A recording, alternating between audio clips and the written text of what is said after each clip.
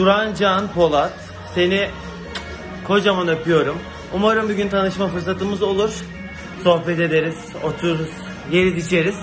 Ee, kocaman öptüm. Kendine iyi bak. Dikkat et. Bay bay.